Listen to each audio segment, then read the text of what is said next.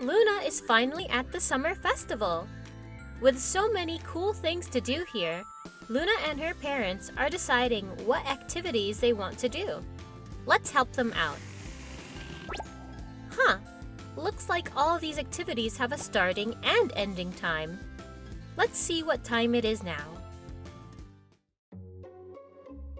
Oh no! Looks like Luna's dad lost his watch. Luckily, there's a clock nearby to help us out. Hmm, this clock looks different than the other ones we used. Oh, that's because this is a digital clock. Let's take a closer look. A digital clock is a clock with numbers and no hands. The clock shows time using numbers and a colon that separates the hour from the minutes.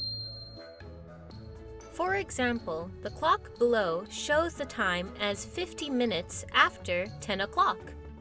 We say 10.50. The hour is 10. It is 50 minutes after the hour. The colon separates the hour and minutes. So on this clock, it shows 10.50. Pretty simple, huh? Now that we know what a digital clock is, let's see if we can match these analog clocks to their digital clock twin. Pause the video now to think about your answers. Then play it again to see if you got them right. Ready? Let's see the right answers. Great work! Let's head back and see what Luna and her family picked for their first activity. First stop, petting zoo. The petting zoo opens at 11 a.m. Which clock represents 11 o'clock? Pause the video now to think about your answers. Then play it again to see if you got them right.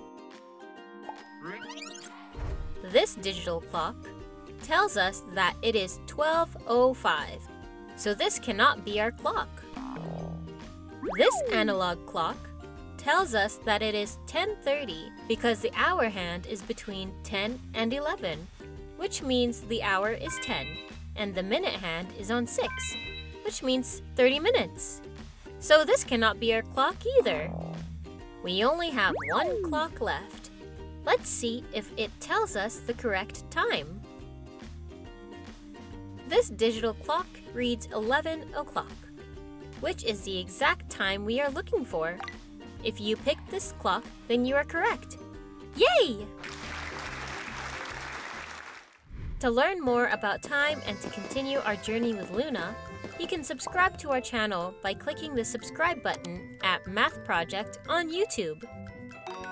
For more information about Math Project and our nationally acclaimed math program, please visit our websites below or call us at 1 844 Math Aid.